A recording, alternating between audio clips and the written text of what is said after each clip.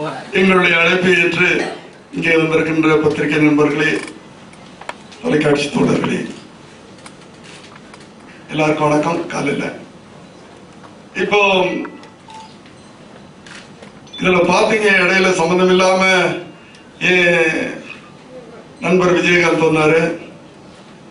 எதுக்கு super star வந்தாரு எதுக்கு உலகநாயகன் வந்தாரு சிரஞ்சீவி வந்தாருன்னு இங்க வந்து நான் உட்காரும் போது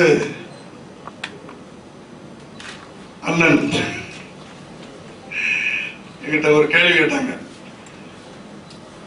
இந்த படம் முதல்ல இந்தியில தானே வந்துச்சு அதுக்கு பிறகு தானே நீங்க வந்து காப்பி அடிச்சீங்கன்னு கேட்டார். ஏன்னா இது வந்து இந்த ஜெனரேஷன் விட்டான் ஏன்னா முப்பது வருஷத்துக்கு முன்னாடி எனக்கு முதல் படம் கேப்டன் விஜயகாந்த் அவர்களுக்கு ஒரு பெரிய திருப்பத்தை ஏற்படுத்திய படம். நான் முதல்ல தமிழ்ல டைரக்ட் பண்ணேன். ரெண்டாவது தெலுங்குல அங்கே சூப்பர் ஸ்டார் இன்னைக்கு இருக்கிற சிரஞ்சீவி சார் வச்சு சட்டாளைக்கு கல்லலீவு அப்படின்னு டைரக்ட் பண்ணேன். மூணாவது கன்னடத்துல சங்கர் நாக் அவங்கள வச்சு டைரக்ட் பண்ணேன். அவங்க இப்போ இஸ் நோ மோர் அவங்க எல்லாருக்கும் தெரியும் அவர் ஒரு கார் பைத்தியம். டிரைவிங் அவ்வளோ இதுவாக பண்ணுவார். அந்த கார் ஆக்சிடென்ட்லேயே அவர் இறந்து போயிட்டாரு. ஏன்னா அவர்கிட்டையும் அவர் இங்கே ஸ்க்ரீனில் இருந்திருப்பார். அதே போல கமல் அவர்கள் மலையாளத்தில் வந்து இந்த கெஸ்ட் ரோலில் நடித்தார் அவர் நடித்த அந்த கெஸ்ட் ரோலில் தான் ஹிந்தியில் அந்தா காணும்